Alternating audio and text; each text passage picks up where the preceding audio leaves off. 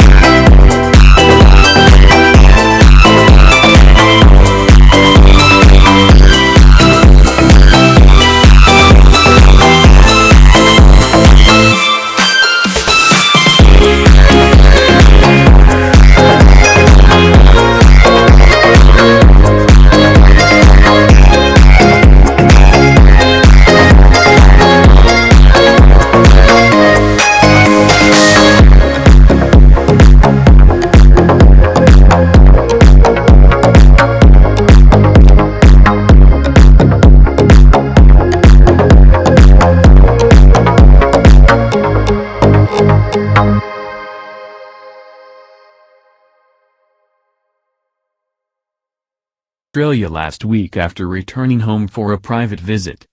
She was seen shopping in Melbourne's Brighton with her best friend Amber Petty, before travelling on to Tasmania. It's Mary's first trip back to Australia since 2017, when she was accompanied by Frederick, 53, and their four children. Mary famously met the prince at a Sydney bar during the 2000 Olympics, before moving to Denmark and getting married.